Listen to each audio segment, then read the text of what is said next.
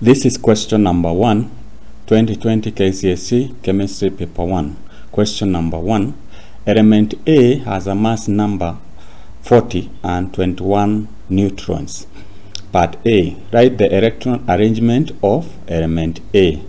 So we know that the number of, elect number of electrons equals to uh, number of electrons is equals to number of protons. And the mass number is made up of protons and neutrons. So if we want to know the number of electrons, then we can say 40 minus 21, and that is going to give you 19. Now, uh, those are the number 19 electrons.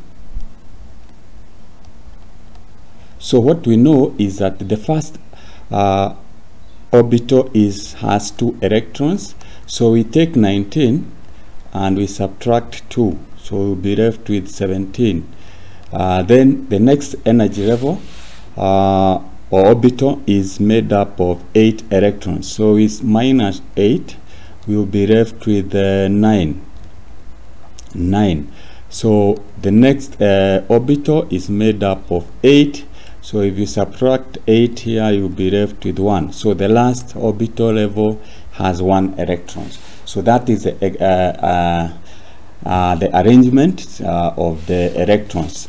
Uh, so normally what uh, using a diagram, that is the first energy level. Then the second one, you make 8. The second, the third one, 8. And the last one. So here we have 1, 2, 3, 4, 5, 6, uh, 7 8 so that is the second energy level. Uh, then we have uh, the third one which you have 1 2 uh, 3 4 uh, 5 6 uh, 7 8 that is the second one. And then we have the last one let's do that properly the last one which has just a sketch has one electron. So that is how the electrons are, are arranged. We look at part B uh, give the formula of the compound formed uh, when element A react with sulfur. Uh, so what we know here is that uh, the valency, uh, valency of A is equals to 1.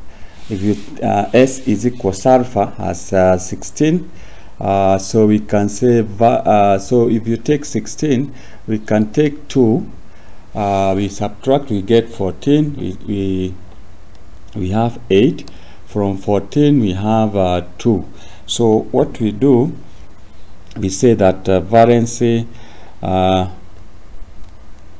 of sulfur is equals to 2 uh, therefore we say uh, this one uh, this one has that is we have a and uh, s. So this is uh, what we do is uh, this is 2 and that is 1 so what we, the, we cross like that. So we have a that is a2 s1 that is we have uh, two at, uh, atoms of a combined with one atom of uh, of sulfur to form a compound uh, which we write like that. So that's a compound that which the uh, uh, the element A will form with sulfur, and that is how you answer that question.